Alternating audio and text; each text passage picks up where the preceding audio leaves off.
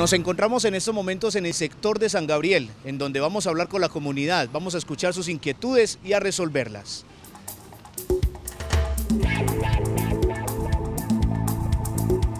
Cuéntenos cómo se ha visto la comunidad afectada con la fábrica de pinturas que había en el sector. Horrible, horrible. No nos hemos muerto porque yo soy muy grande.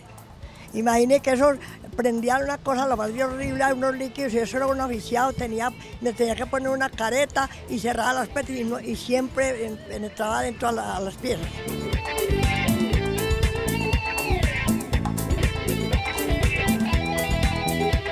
Vamos a seguir recorriendo la comunidad del barrio San Gabriel, del sector de San Gabriel, porque precisamente estaban afectados por esto que estaba sucediendo y bueno, que sean ellos mismos, ante la buena noticia, que nos cuenten qué piensan ahora de que se cerró lógicamente este sitio. Caballero, buenas tardes, ¿cómo es su nombre? John Jairo Rendón.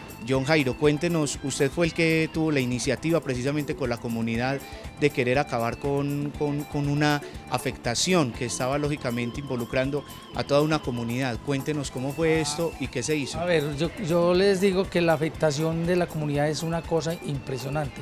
No es de acabar con una empresa, sino que no, no, no tenía los requisitos suficientes para trabajar. Estamos hablando de una empresa que sus procedimientos son artesanales no, tienen una buena técnica y por consiguiente los riesgos son más altos.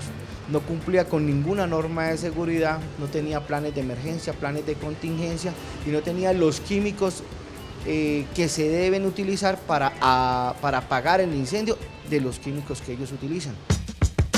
La administración municipal, en cumplimiento del nuevo código de policía y en aras de salvaguardar la vida y la seguridad de la comunidad y por las reiterativas quejas de los habitantes, determinó el cierre definitivo de esta empresa de pinturas. Esta empresa, una empresa de pinturas, eh, no cumplía el plan de ordenamiento territorial, específicamente en lo que tiene que ver con los usos del suelo. Era un uso prohibido. Es importante recordarle a la comunidad los principales aliados para la gestión del riesgo de desastres son ellos.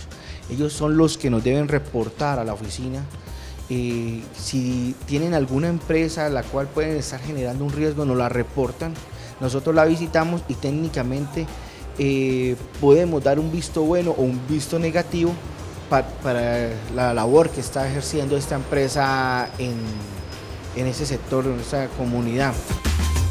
De esta manera terminamos en el sector de San Gabriel por hoy y seguiremos quizás en su sector, pero simplemente queremos llegar a resolver las inquietudes que la comunidad tenga y aquellos problemas que los estén aquejando. Somos nosotros, la Administración Municipal, la Alcaldía de Itagüí. Sigamos avanzando.